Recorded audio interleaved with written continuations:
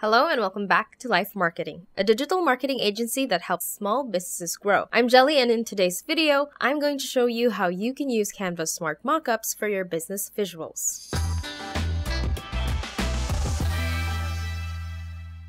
Canva Smart Mockups make for great lifestyle images to feature on your social media pages, ads, or your website. Currently, Canva Smart Mockups feature laptop and computer screens, phone screens, and even product mockups for books, ebooks, t shirts, hoodies, envelopes, mugs, and picture frames. Depending on your business, though, there's a few of these options you can't use very much. So let's start with the smart mockups you can use regardless of your business, and that would be your screen mockups. Whatever your business may be, you'll be able to take screenshots of the platform you're selling your products or services in. This can be your website or your social media page. Secure a screenshot of your website or page through either your browser or mobile phone view. Once you have that, we can proceed to Canva's website to create our smart mockups. Let's say we're making a social media post showing our audience our website. Before anything else, let's upload our screenshot. Once it's on your canvas and selected, click Edit Image and scroll down till you see Smart Mockups and click that. Since we have a screenshot of our website,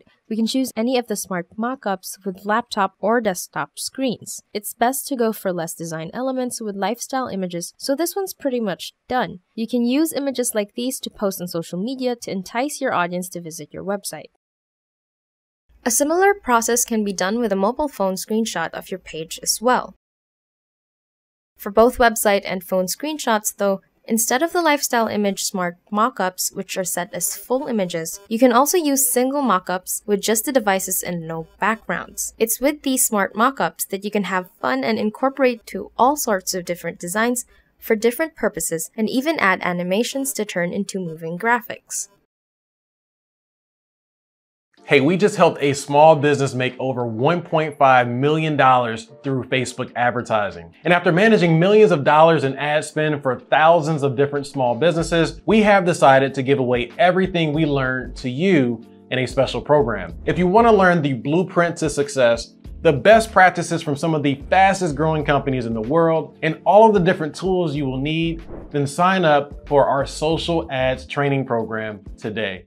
Now for the product mockups. We can currently impose our images in books, ebooks, hoodies, t-shirts, envelopes, mugs, and picture frames, catering mostly to apparel brands or print-on-demand businesses. But since this is Canva, there's a huge chance they will update their smart mockup library with more options, so definitely stay tuned. For now, I'll walk you through how you can use what's currently available. Upload the image you'll be imposing into the mockups and click Edit Image. Click on Smart Mockups and select a mockup you want to use. I should also mention, depending on where you're placing your image into, you'll want to upload prints like this as a transparent PNG with no background so that it'll incorporate seamlessly into the mockup. If your image has a background, you can try using the background remover tool to remove it. Once you've selected a product mockup, you'll also have the option to change the color of the object. This is especially helpful if you're selling any of the product mockups here and you're selling them in multiple colors. In this case though, I just want the color of the mug to fit my branding because the mug isn't what I'm primarily selling since this brand sells coffee beans. And technically, this is just merch.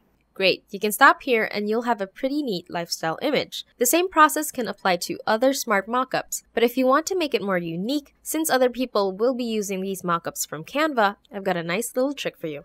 Save your image to PNG or JPEG and load it back into Canva, but be sure to add a background container first, like this. At this point, we're going to use the background removal tool to remove the background our image currently has. If the mockup you selected doesn't work well with the Smart Background Removal tool, we do have a previous video on how to remove backgrounds to your objects, so be sure to check that out and circle back to this video after. Once your background is removed, pick a nice new background that fits your branding better or just makes it look different from the original. So now because you changed the background, it won't look exactly the same as other businesses that may decide to use the same product mockup from Canva. Of course, as with any graphic you use for your business, you want it to look as unique as possible. Feel free to play around with what setups you can put together using Canva's library of elements and images. Also, the Smart Mockup and Background Removal tool features are only currently available for pro accounts, and given how useful these features are, they're huge reasons to subscribe to a pro Canva account.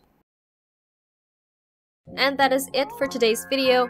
If you learned anything from this guide, please give this video a thumbs up and subscribe to our channel for more essential digital marketing guides. Once again, this is Jelly from LYFE Marketing, and I'll see you in the next one.